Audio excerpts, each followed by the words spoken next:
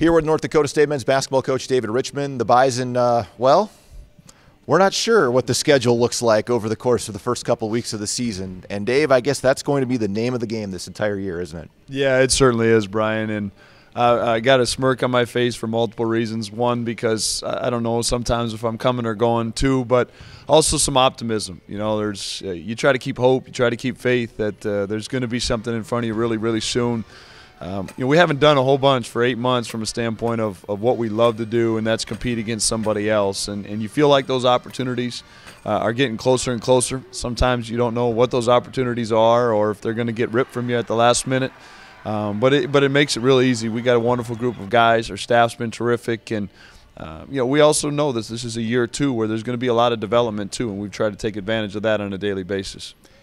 We've already seen with the Milwaukee MT falling through. It was four teams and three teams. Now it's completely gone. You're able to piece together this two-day deal, at Williams Arena with Loyola and, and Minnesota, and this is might be what it's like, right? You're just going to have to kind of pick things up as other things fall through, and that's going to be part of the game, which I know is difficult, but that's that's it. You're exactly right, and and I think the thing that comes back to me all the time, Brian, is you're looking for opportunities, uh, you're and you're looking for games, and and that's that's the big piece. When the Milwaukee thing fell through, you know, you you you just can't take no for an answer. You got to look for other opportunities. So that at the end of this, we're mid-major basketball, and there there's. Um, you know, very rarely do we have that chance for the at large. You know, we, we got to get the automatic bid, and that's to be ready in March and, and, and have that opportunity to compete for that conference championship in the tournament. And we need 12 games to be there. And what you find out is you might feel very good about where your program's at, you know, with, with the circumstances of COVID and how, how it's worked its way in and around our program. But we're also at the mercy of these other programs. And, and you see that. You know, Milwaukee has a tier one case, and it cancels two games for us, too and, and, and that's the unnerving part because we want to be prepared. We want to have that opportunity to compete for a conference championship in, in March in Sioux Falls.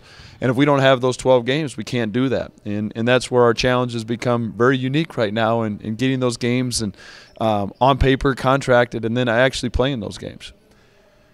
With your guys, what's the message been, or do you guys talk about this stuff very much, or do you just kind of let it go, so to speak? It, you know, it's hard not to, Brian. And, and I've gotten to a rhythm and routine the last couple years of just shutting social media down and some of those things during the season and focusing on us. And, and but these are 18 to 22, 23 year old kids. They're on social media. That's how a lot of their lives are lived, good, bad, or indifferent. And uh, so much of it, and I, I don't mean to rag on social media, but so much of that's negative. And, and it's not just negative – stuff that's put out there. It's just negative. Just you're just reading negative facts, and even though they're facts, they're negative. And, and the guys are hearing about this league canceling, or this team shutting down, or this team's not starting up, and and it's hard for them not to like. How is that not going to affect us, coach, a little bit too? And I think the biggest message is for me that I you know put into our guys' head day in and day out is control the things that we can control. Uh, we got to eliminate excuses and the one thing we can control is our attitude, our energy, and our effort today, and that's an opportunity to get better.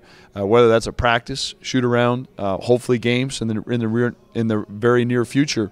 Um, but there are it's unique from a standpoint. There are so many things out of your control right now that it's hard to just latch on to something you know that's right in front of you. With this group coming in, an opportunity to play everybody because it's I don't want to say a free year, but it is a free year because you don't know exactly how many games you're going to get in. Everybody has a chance to play and still get that extra year of eligibility back. Do you anticipate playing a lot of guys because of that early here? Absolutely, and just for a lot of reasons. You know, you never know how COVID's going to impact us as we go forward. We might, might be, we might look different you know, in a month than we do today. And so I think it's vital. I think it's vital. Some, uh, you've seen our successes in Sioux Falls. We've played multiple guys, nine, ten, sometimes even early two seasons ago, we played 11 guys. Um, and, and, I do think this year we're gonna we're gonna count on you know I can just come to mind three freshmen right now uh, that are probably going to play you know 12 to 15 plus minutes a game. Uh, their, their bodies can't handle that too. Uh, for for they can't handle 25, 30 minutes, and so uh, it, it's going to be vital. It's going to be fun. Um, I, I, said it earlier in our conversation here. This is a development year, but it's of, of all the things that's negative about 2020 and and and what's going on with the season right now.